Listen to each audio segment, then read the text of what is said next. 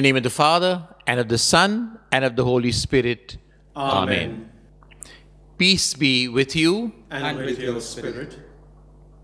My sisters and brothers, my dear children, my dear youth, my dear families, religious sisters, fathers, all of you, people of other faiths, hearty welcome to this Eucharist once again as we pray to God. We have begun, uh, we here in my own city of Mumbai, we are still in a quasi lockdown, but many have already begun working. But I know there's anxiety in many families about loss of jobs, of cut in pays and salaries. Uh, I, I, let's take pray pray for all of them. The uncertainty that at least people do not lose employment, that they're not put to hard stress.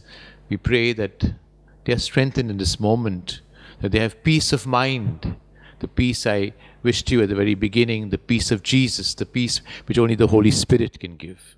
Let's pray for all these people, my dear sisters in our convents, my dear families, my dear friends. Begin this Eucharistic sacrifice once again, putting ourselves in God's presence, asking His forgiveness for our sins. You were sent to heal the contrite, Lord, have mercy. Lord have mercy. You came to call sinners, Christ, have mercy. Christ have mercy. You come to make all things new, Lord, have mercy. Lord have mercy. May Almighty God have mercy on us. May He forgive us our sins and bring us to everlasting life. Let us pray.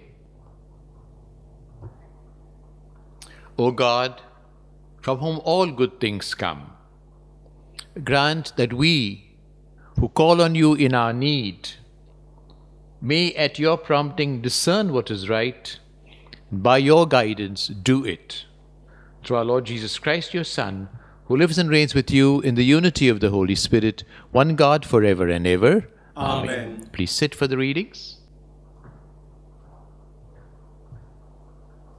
A reading from the first book of the Kings. When Elijah reached Horeb, the mountain of God, he went into the cave and spent the night in it. Then he was told, Go out and stand on the mountain before the Lord. Then the Lord himself went by. There came a mighty wind, so strong, it tore the mountains and shattered the rocks before the Lord but the Lord was not in the wind. After the wind there came an earthquake, but the Lord was not in the earthquake. After the earthquake, earthquake came a fire, but the Lord was not in the fire. And after the fire there came a sound of a gentle breeze. And when Elijah heard this, he covered his face with his cloak and went out and stood at the entrance of the cave. Then a voice came to him which said, What are you doing here, Elijah? He replied, I am filled with jealous zeal for the Lord of hosts, because the sons of Israel have deserted you, broken down your altars, and put prophets to the sword. I am the only one left, and they want to kill me. Go, the Lord said, go back by the same way to the wilderness of Damascus. You are to go and anoint Hazael as king of Aram. You are to anoint Jehu son of Nimshi as king of Israel, and to anoint Elisha son of Shaphat of Abel Meholah as prophet to succeed you.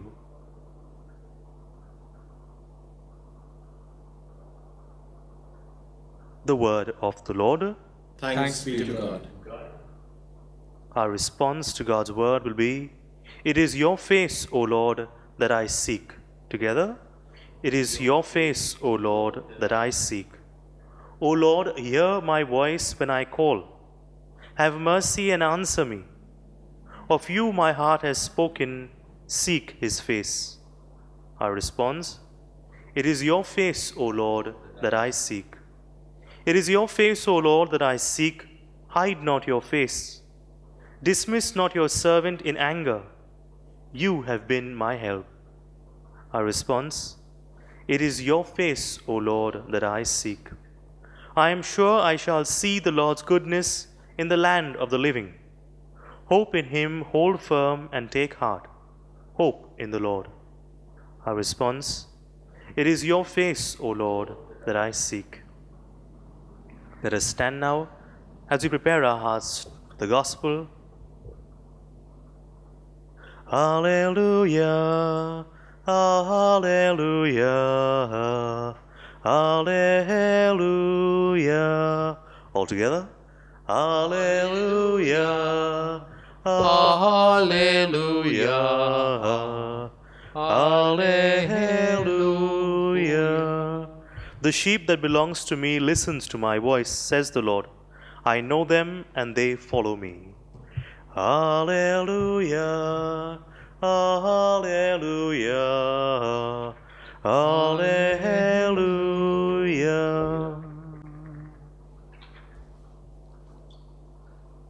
The Lord be with you. And with your spirit.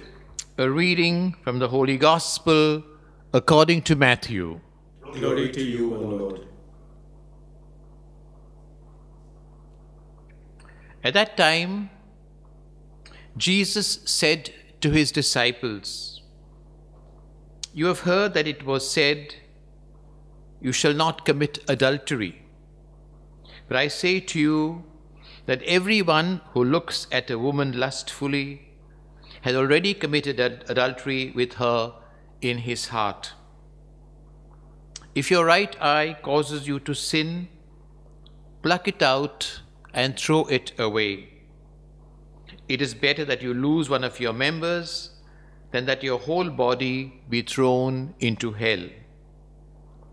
If your right hand causes you to sin, cut it off and throw it away. It is better that you lose one of your members than that your whole body go into hell. It was also said, Whoever divorces his wife, let him give her a certificate of divorce. But I say to you that everyone who divorces his wife, except on the grounds of unchastity, makes her an adulteress. Whoever marries a divorced woman commits adultery. The Gospel of the Lord. Praise to you, Lord Jesus Christ.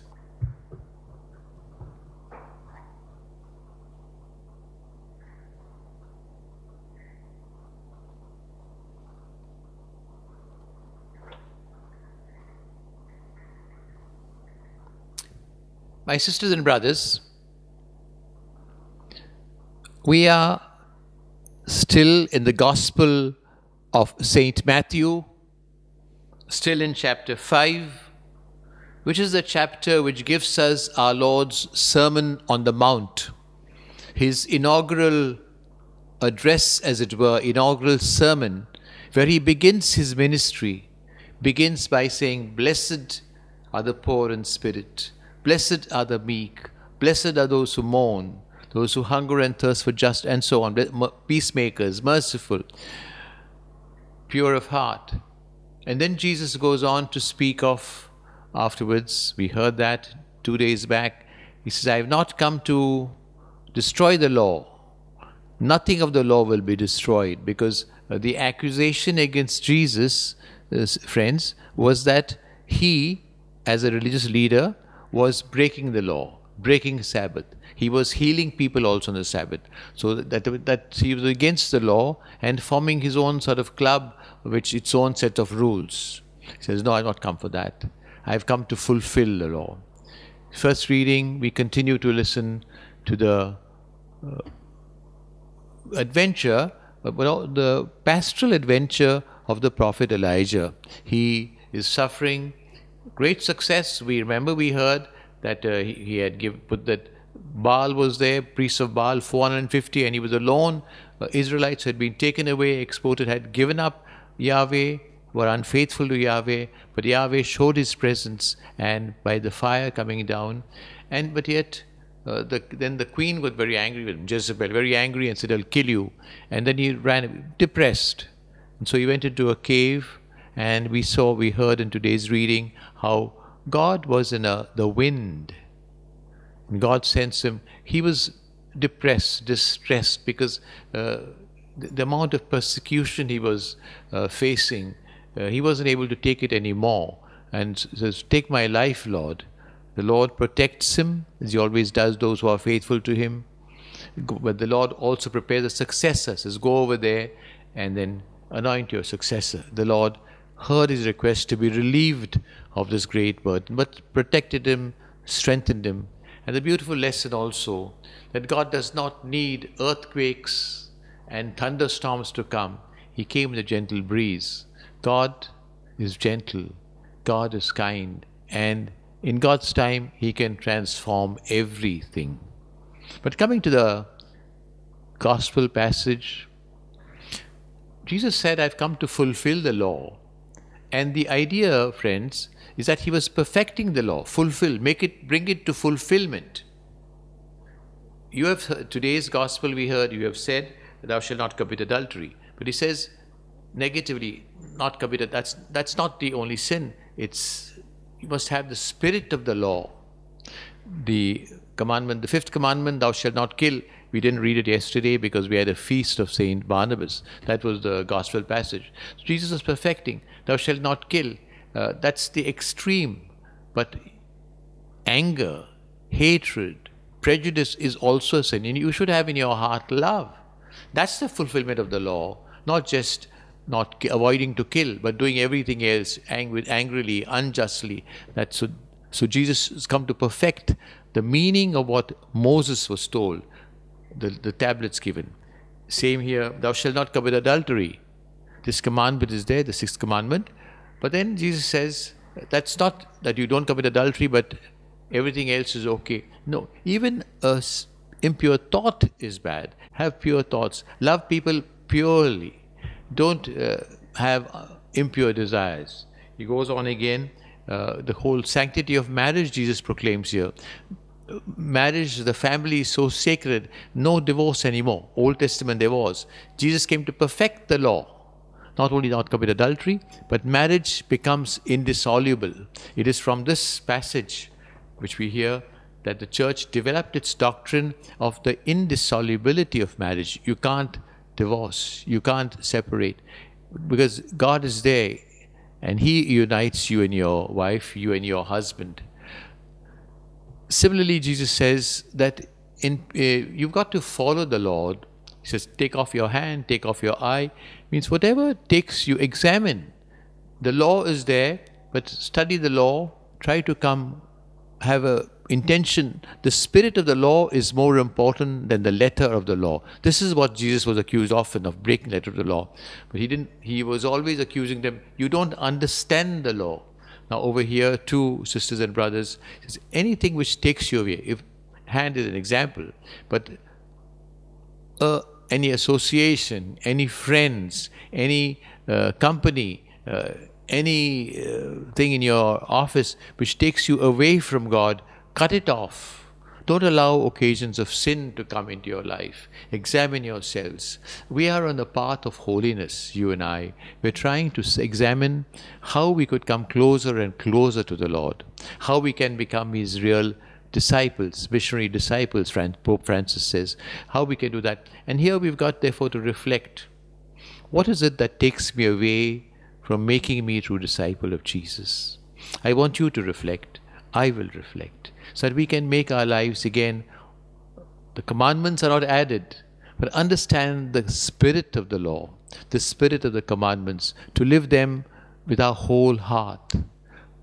Thou shalt not kill. Yes, that we will never do, I'm sure. But also begin to have positively love in our hearts. Thou shalt not commit adultery that I'm sure that you will, we all understand that. But the point is, the family is sacred, so sacred because God is present. Uh, not, no family is indissoluble. This one unit, which is now we understand the domestic church.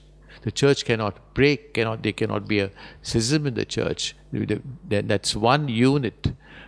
Uh, thou shalt not commit adultery, but have a pure love for your wife and for all pe- other people. Uh, blessed are the pure of heart, they shall see God. That's what Jesus says in the Beatitudes. And here in the Sermon on the Mount, Jesus is developing his whole uh, theology of the Beatitudes, the whole spirituality of the Beatitudes, helping us to come closer and closer to the Lord. As Pope Francis says in his apostolic exhortation, we should become the saints next door in our own neighborhood. We should also see in our neighbors the saints next door. God bless you, my dear friends.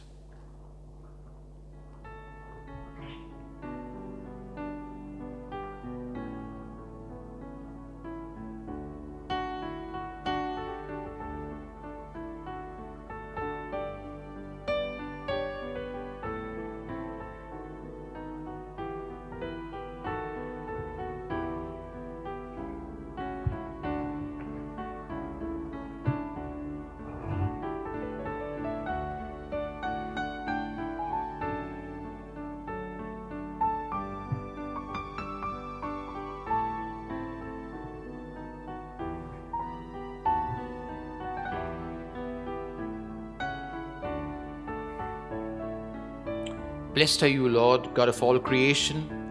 Through your goodness we have this bread which we offer you. Fruit of the earth and work of human hands, it will become for us the bread of life. Blessed be God forever.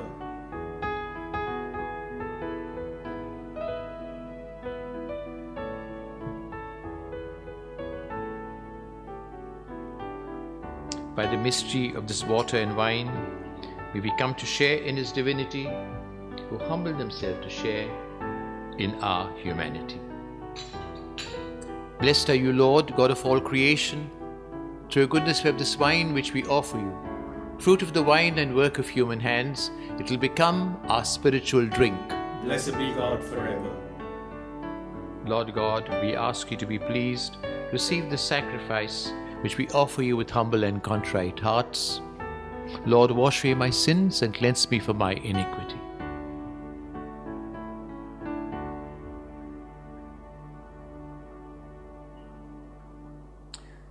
Pray, my sisters and brothers, that your sacrifice and mine may be acceptable to God our Father in heaven. May the Lord accept the sacrifice at your hands for the praise and glory of his name, for our good and the good of all his holy church. Look kindly upon our service, O Lord, we pray, that what we offer may become an acceptable oblation to you. Lead us to grow in charity. Make this prayer through Christ our Lord. Amen. The Lord be with you. And with your spirit, Lift up your hearts. we lift them up to the Let Lord. us give thanks to the Lord our God. It is right and just. Truly right and just, our duty and our salvation, always and everywhere to give you thanks, Lord, Holy Father, Almighty, Eternal God. For although you have no need of our praise, our thanksgiving itself is your gift, since our praises add nothing to your greatness, but profit us for salvation through Christ our Lord. And so, in company with the choirs of angels, we praise you, and with joy we proclaim.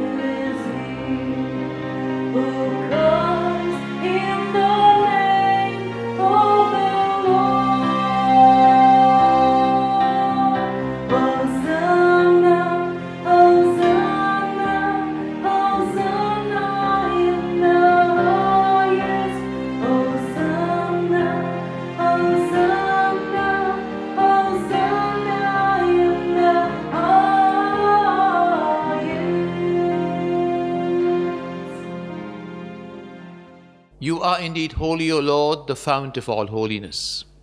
Make holy, therefore, these gifts, we pray, by sending down your Spirit upon them like the dewfall, so that they can become for us the body and blood of our Lord Jesus Christ. At the time he was betrayed and entered willingly into his passion, he took bread and giving thanks, he broke it and gave it to his disciples, saying, Take this, all of you, and eat of it, for this is my body, which will be given up for you.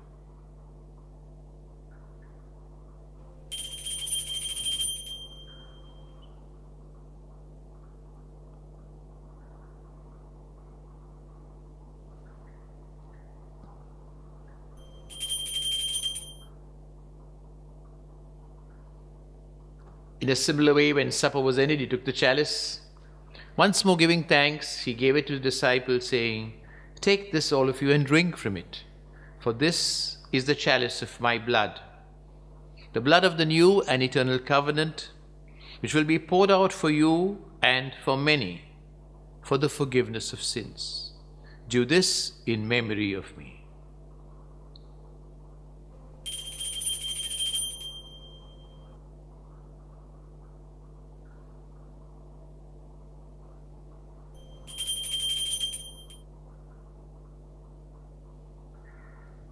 The mystery of faith.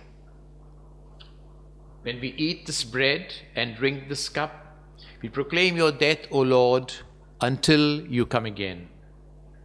Therefore, as we celebrate the memorial of his death and resurrection, we offer you, Lord, the bread of life and the chalice of salvation, giving thanks that you've held us worthy to be in your presence and minister to you.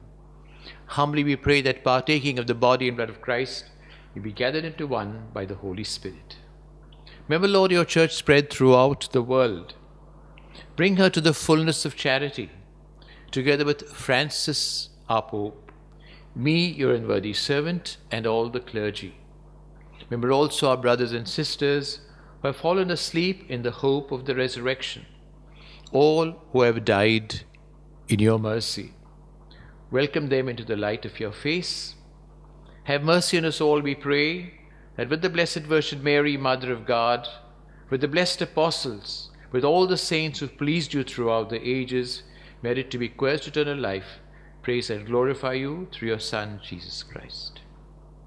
Through him, and with him, and in him, to you, Almighty Father, in the unity of the Holy Spirit, be all glory and honor forever and ever. Amen. Let us pray with confidence to the Father in the words Jesus taught us. Our Father, who art in heaven, hallowed be thy name. Thy kingdom come, thy will be done on earth as it is in heaven. Give us this day our daily bread. Forgive us our trespasses, as we forgive those who trespass against us. And lead us not into temptation, but deliver us from evil. Deliver us, Lord, we pray, from every evil.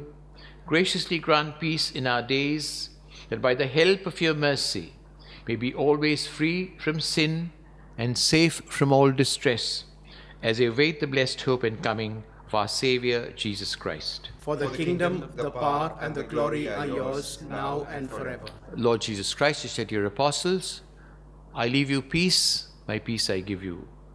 Look not on our sins, but the faith of your church, and graciously grant a peace and unity in accordance with your will, who live and reign forever and ever. Amen. The peace of the Lord be with you always. And with your spirit. Let us offer you the sign of peace. Christ's peace be. Lamb of God, you take away the sins of the world, have mercy on us. Lamb of God, you take away the sins of the world, have mercy on us. Lamb of God, you take away the sins of the world, grant us peace.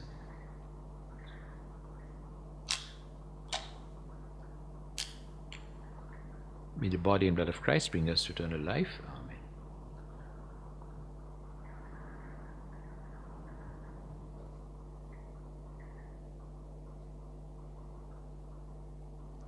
Behold the Lamb of God. Behold him who takes away the sins of the world. Blessed are those called to the supper of the Lamb.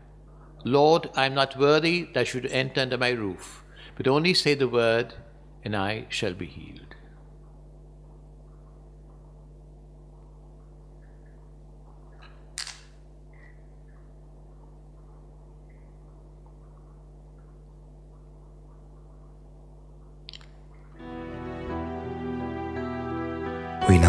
Our spiritual communion with the Lord.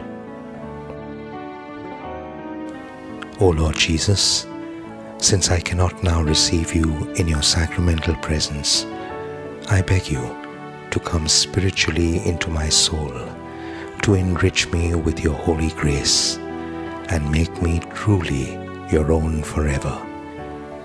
O Jesus, living in Mary, come and live in me in the spirit of your holiness, in the fullness of your power, in the communion of your mysteries, in the perfection of your ways. O divine guest, give to my soul a strong, lively faith, an unbounded trust, perfect humility, an abiding sorrow for my sins, a total abandonment to your divine will, and a perfect loving union with you in mind and heart. O sacrament most holy, O sacrament divine, all praise and all thanksgiving be every moment thine. Lord Jesus, thank you for the blessings and graces you have given me through this spiritual communion.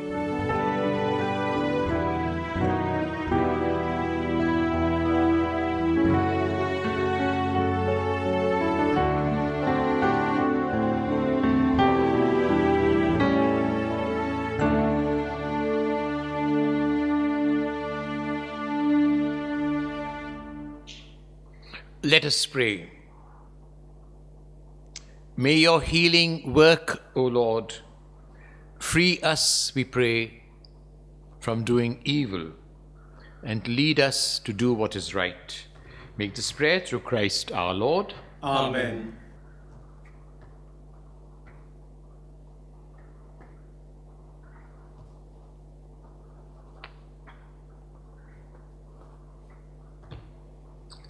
The Lord be with you. And with your spirit. May Almighty God bless you, the Father, the Son, and the Holy Spirit. Amen. The Mass is ended. Let us go in the peace of the risen Christ. Thanks be to God. Thanks once again. Today is Friday, and we pray to the Sacred Heart in a special way. So, therefore, we'll have the chaplet of the Sacred Heart at the at the end of the in the evening. But before that, uh, we'll have uh, Father Godfrey. Uh, pay attention to because uh, he's he finishes his module uh, today th- th- when he speaks about uh, wellness. uh, he uses his he's a counselor, trained counselor, Salesian, God Godfrey de Souza. So I welcome you, and I look forward also to learn something from what he says. Very very valuable insights for all families. I hope I know some of you are working, but those who, who are still at home uh, do watch. It will help. It will help you a lot, and you share with those who are working what he said. So have a lovely Friday. Enjoy yourselves to the extent possible, and uh, keep well, keep safe, and see you tomorrow. God bless.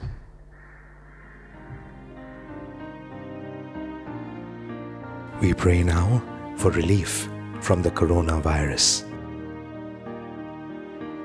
Almighty and merciful God, who show your love to all creation everywhere, hear graciously the prayers we make for all those affected by the coronavirus in various parts of the world. We come before you asking for a quick control of the outbreak for a healing of those affected, for the victims and their families. We pray for the doctors doing research that an effective vaccine to combat the sickness is speedily found. We pray for the government and health authorities that they take appropriate steps for the good of the people. We make this prayer through Christ our Lord. Amen.